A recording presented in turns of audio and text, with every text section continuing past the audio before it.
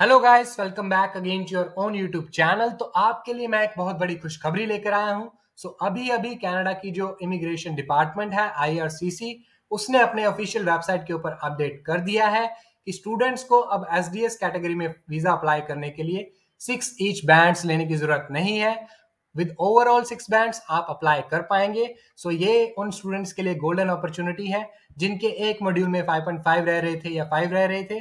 अब आप S D S file apply कर पाएँगे और इसको अपडेट उन्होंने कर दिया है वेबसाइट के ऊपर।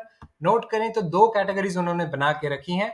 अगर आप 10 अगस्त से पहले अप्लाई करेंगे तो आपको ईच स्किल में सिक्स ईच चाहिए होंगे। बट अगर आप 10 अगस्त के बाद अप्लाई करते हैं तो यहाँ पे अब चेंजेस आ गए हैं। Minimum score of six with results from each of the four language abilities अब जिस यूट्यूबर को इतना सा समझ नहीं आ रहा है कि अलग अलग प्रपोजिशन यूज़ करी है उन्होंने वहाँ पे उन्होंने इन लिखा था, यहाँ फ्रॉम लिखा है, जिसका मतलब होता है कि ओवरऑल सब में से आपको सिक्स चाहिए ईच में नहीं चाहिए। और CIC जो उनकी न्यूज़ एजेंसी है, उसने भी क्लैरिफाई किया है क्लियर शब्दों में लिखा है कि एवरेज चाहिए होगा ईच मॉड्यूल में नहीं चाहिए होगा। और जो भी लोग इस न्यूज़ को डाउट कर रहे हैं, मैं आपको बता दूँ कि ये CIC जो है, वो उनकी पार्टनर न्यूज़ एजेंसी है। और इनके पास ऑथेंटिक रिसोर्सेज होते हैं इनके सीधा डायरेक्ट कॉन्टैक्ट्स होते हैं हाई कमीशन के साथ और उनकी एजेंसी के साथ। ये इंडियन न्यूज़ चैनल्स नहीं है जो कि कुछ भी डाल देंगे।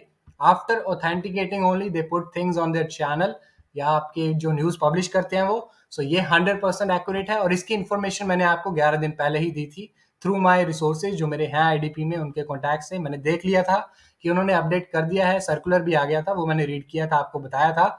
एक दो दिन लेट हो गया बट इवेंचुअली आपका आ गया है, जो मैंने बताया था इट हैज़ हैपेंड और अब आप अप्लाई कर पाएँगे। बट एक बात ध्यान रखिएगा, वही स्टूडेंट अप्लाई करें अभी के लिए, जिनके 5.5 एक मॉड्यूल में है बिकॉज़ प्रेफरेंस आपको ज़्यादा मिलेगी। बट हाँ जिनको ट्राई करना है फाइव बैंड के साथ वो भी कर सकते हैं बिकॉज़ ट्राई करने के बाद ही पता लगेगा कि सक्सेस रेट क्या है वीज़ा की। So this is amazing news for each and every student जो कि स्ट्रगल कर रहा था एक मॉड्यूल में। तो आपके लिए अब दरवाजे खुल गए हैं। आप अप्लाई कर सकते हैं कनाडा में और अपने ड्रीम को पूरे कर सकते हैं। And this is hundred percent authentic news अभी भी अगर किसी यूट्यूबर को समझ नहीं आया कि इन और फ्रॉम में क्या डिफरेंस होता है, वो मुझे मैसेज कर ले, मैं अच्छे से समझा दूँगा। सो दिस इज़ ऑफिशियल और जिसको भी कंफ्यूजन है, समझ नहीं आ रहा है, ध्यान से सोचिए कि आईडीपी ना पार्टनर ऑर्गेनाइजेशन है आपकी आईआरसीसी की और हाई कमीशन ऑफ़ कनाडा की। उनके डायरेक्ट कॉन्टैक्ट्स होते हैं, वो एक दूसरे के आर्टिकल्स नहीं पढ़ते, उनकी डायरेक्ट बात होती है। तो ये कंफर्म न्यूज़ है। अभी आप अप्लाई करिए, अपनी फ़ाइल रेडी करें और जल्द से जल्द अप्लाई करें ताकि ज़्यादा स्टूडेंट्स एक साथ करेंगे तो हो सकता है थोड़ा रश आ जाए। सो मेक श्योर कि आप चैनल को सब्सक्राइब करें ऑथेंटिक इन्फॉर्मेशन के लिए और टाइम से पहले ही आपको इन्फॉर्मेशन मिल जाती है यहाँ पे। So make sure to hit the bell icon and ज़्यादा से ज़्यादा शेयर करें अपने दोस्तों के साथ। Thank you so much